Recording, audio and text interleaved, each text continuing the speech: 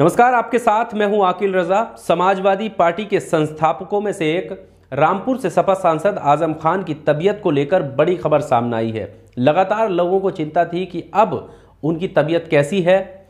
दरअसल, उनका, जैसा कि आप जानते हैं कि लखनऊ के मैदानता हॉस्पिटल में उनका इलाज चल रहा है और इलाज के दौरान अब हॉस्पिटल ने जो है उनका हेल्थ बुलेटिन जारी किया है, जिसमें ये जानकारी दी गई है कि उनका फेफड़ों के बाद, यानी फेफड़ों में उनके लगातार दिक्कत थी और फेफड़ों के बाद अब किडनी में भी दिक्कत आई है। यानी उनकी हालत जो है वो गंभीर बताई जा रही है। इस वीडियो में हम विस्तार से आपको बताएँगे कि बुलेटिन में और डॉक्टर्स की तरफ़ से, हॉस्पिटल की तरफ़ से क्या कुछ आज़म खान की तबीयत के बारे में बताया गया है। इसके अलावा अब्दुल्ला आज़म जो उनके बेटे हैं, उनका भी इलाज चल रहा था।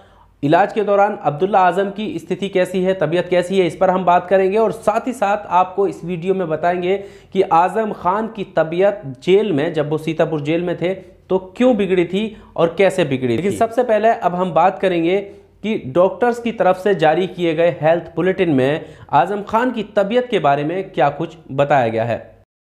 जैसा कि आप जानते हैं कि पिछले कई दिनों से उनका लखनऊ के मैदानता अस्पताल में इलाज चल रहा है। वो कोरोना पॉजिटिव हैं और उन्हें सांस लेने में भी तकलीफ़ हो रही है। अब अस्पताल की तरफ़ से ही उनका हेल्थ बुलेटिन जारी किया गया, जिसमें ये जानकारी दी गई कि लंग्स के बाद आज़म खान की किडनी में भी दिक्कत होने लगी है।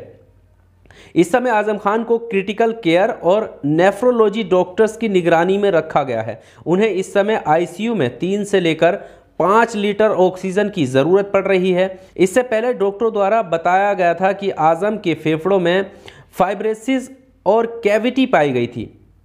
उस वजह से उनकी स्थिति ज़्यादा क्रिटिकल देखने को मिली थी। अब उनकी किडनी में भी समस्या होने लगी है।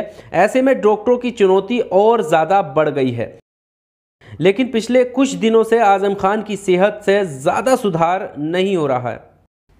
तो बुलेटिन में ये बताया गया है कि ज़्यादा कुछ जो हालात जो है वो सुधरने की तरफ़ नहीं है, लेकिन अभी पीछे खबर ऐसी मिली थी कि आज़म खान की हालत जो है वो सुधरती हुई नज़र आ रही है, लेकिन एक बार फिर से उनकी तबीयत को लेकर हेल्थ बुलेटिन में गंभीर स्थिति बताई गई है कि हालत जो है वो ख़राब है और ऑक्सीजन पर लगातार है। इसके अलावा उनके जो है किडनी में भी दिक्कत, लंग्स में भी दिक्कत हो रही है। आपको बता दें कि आज़म खान की तबीयत जब बिगड़ी थी तो वो सीतापुर जेल में थे और बताया जा रहा था कि सीतापुर जेल में जब उनकी तबीयत बिगड़ी थी, उस वक्त रमज़ान का महीना चल रहा था और वो रोज़ा रख रहे थे। ऐसा जो है खबरों में आ रहा है बताया गया कि रमज़ान के महीने में सपा सांसद रोज़े पर चले, चल रहे थे, तब उनकी तबीयत बिगड़ी थी और जाँच में वो कोरोना पॉजिटिव पाए गए थे। उसके बाद उन्हें लखनऊ के मैदानता अस्पताल में भर्ती कराया गया, जहाँ उनकी हालत गंभीर बनी हुई है।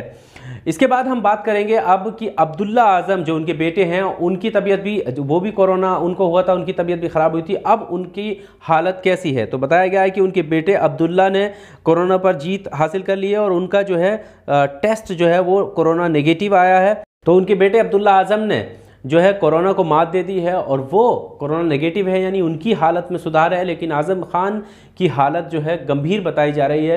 हॉस्पिटल की तरफ़ से जारी किए गए हेल्थ बुलेटिन में इस सारी जानकारी को दिया गया है, जिसमें बताया गया है कि अब जो है उनकी दिक्कतें बढ़ रही हैं। आगे क्या कुछ होता है, हम आपको ज़रूर अपडेट करेंगे। इस वीडियो में सिर्फ़ इतना ही। अगर आपको ये वीडियो पसंद आया हो तो लाइक कीजिए शेयर कीजिए। अगर आप सपा सांसद के बारे में कुछ बोलना चाहते हैं, कुछ लिखना चाहते हैं तो आप ज़रूर कमेंट बॉक्स में आकर लिखिएगा। बहुत बहुत शुक्रिया।